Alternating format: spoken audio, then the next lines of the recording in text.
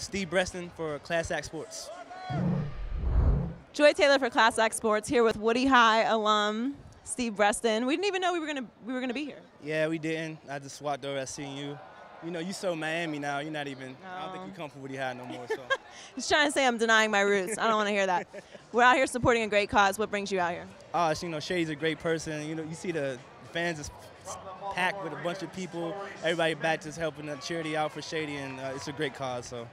Now you have a, a foundation yourself, and you do some things in the community in Pittsburgh, and you have a camp for for young kids. Can you tell us a little bit about that? Oh, it's yeah, Steve Breaston Foundation. You know, me and Ryan Mundy doing a clinic back in uh, you know, Woody High, and uh, we bring a bunch of the guys back. You know, it's a free clinic for the kids, and a lot of communities come together, and you know, we just have a good time there.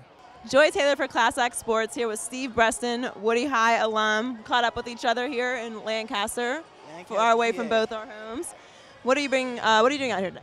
I'm just come out here help support Shady. You know, with this event, and it was a good turnout today, and I had I really had fun out here today.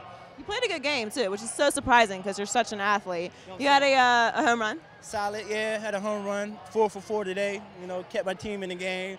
We lost, you know, we lost close at the end. It was it was a great all-around performance today. Did you play baseball in high school? I played You played about 18 sports, so I, can't keep I played up to 10th grade, you know. Then they told me I had to run track, which I didn't really run track. I just sat in the locker room and went out on the track when it came around. So you was there. You would, you didn't. Little you known didn't fact about Stevie, I'm She the only practice. girl in the history of time to ever beat Stevie in a race. Do you remember that? I was running backwards. I was running backwards in practice. So she might have got me that day, but any other day I would beat her. Yeah, yeah, yeah. Now you have a charity yourself, and you do a camp in Pittsburgh for young kids. Tell us a little bit about that camp.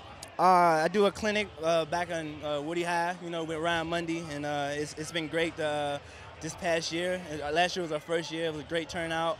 We got a lot of volunteer work, so all the communities got together, and it, it was just it was a great great cause. Just you know, bringing guys back from around the area and showing kids, you know, what they become. Not only with the athletes there, but with the volunteer work and the, the people that come back and help support the community like that.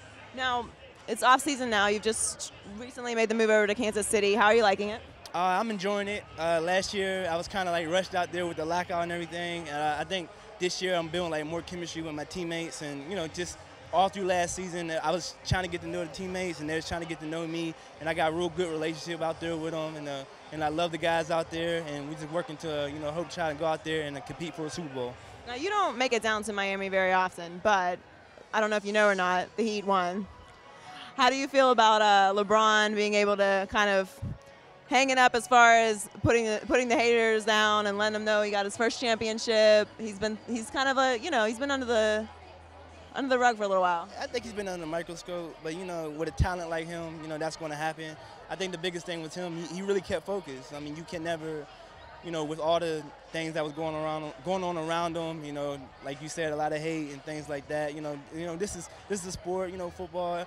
I mean, NBA and things like that. There's going to be a lot of the fans that just going to dislike you, you know, not because of who you are, because they're fans of the game. They don't want you to win. But I think he, I think he understood that. He went out there and played this game, and he got a championship. You know, he's, he's still young. You know, he's he's very talented. He's probably gonna get several more. So, Well, good luck this season and uh, Woody High for life. what do you have for life? I don't know about her. She doesn't come back much. I think she's Miami now. I make it back enough. Right. Joy Taylor for Class Act Sports.